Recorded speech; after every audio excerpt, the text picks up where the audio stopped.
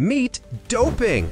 Don't believe it? Well, that's a mistake, because this ordinary vegetable practically beats doping in sports. The idea that you can improve your athletic performance not with banned substances, but with regular beets? Sounds like nonsense? I agree. But science strongly claims the opposite. So what does it say?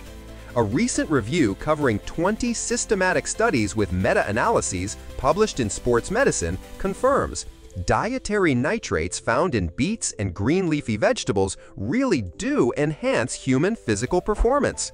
The results showed that nitrates can improve endurance and exercise efficiency, especially in sports that require aerobic stamina.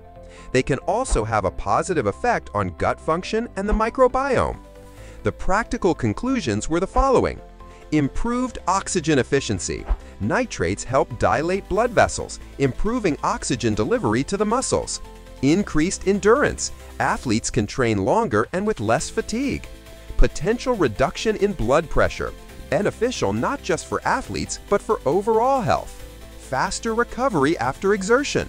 So, dietary nitrates from natural sources can be a useful addition to your training regimen. Not to mention, they're a great source of vitamins and trace minerals. However, as with any supplement, it's important to use them in moderation.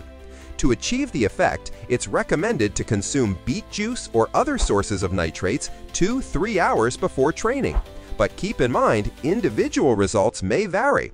What do you think? Maybe it's time to reconsider your attitude toward this root vegetable. After all, it's not only healthy, but tasty too.